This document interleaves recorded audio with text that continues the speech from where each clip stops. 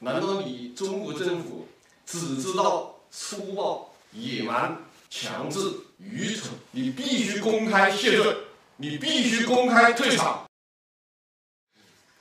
这个这确实这个是这个大家的力量，知道吧？不然像我方明一个人早被他们带走了，知道吧？那不知道带哪去了，那满世界找也 找不到方明。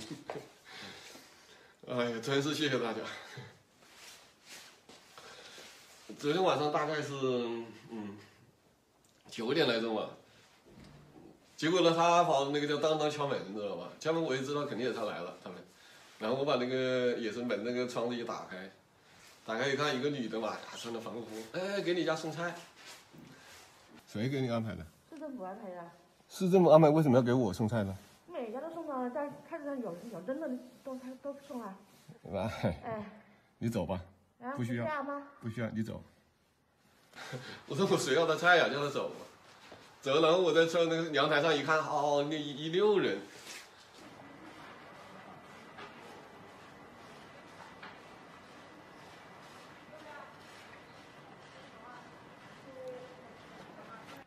大家看到了吗？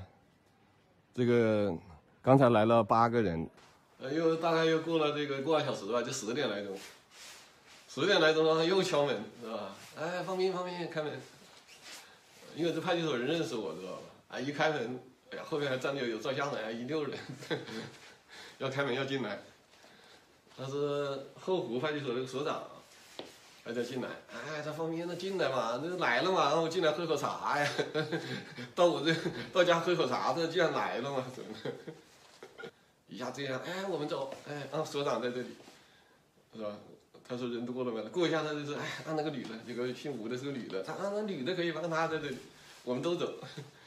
后来我也不开门，他说了半天，你知道吧？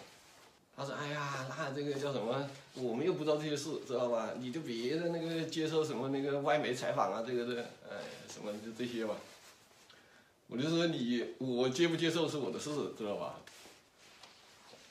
难道你中国政府只知道粗暴、野蛮、强制、愚蠢？我就跟他这样说，我说你就回去报，你就上报就完了。你这个方斌说，要公开，要中国政府公开承认，方斌就是对的。你必须公开谢罪，你必须公开退场，你必须负责。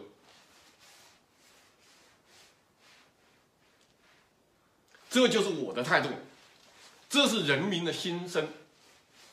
我非常知道我，我一个人真的是无能为力，但是因为有你们，他们不敢，就是这样的，所以真的谢谢大家，谢谢大家。